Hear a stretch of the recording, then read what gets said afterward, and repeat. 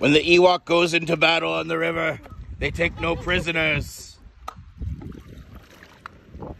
The mighty Ewok warrior, the Skookle.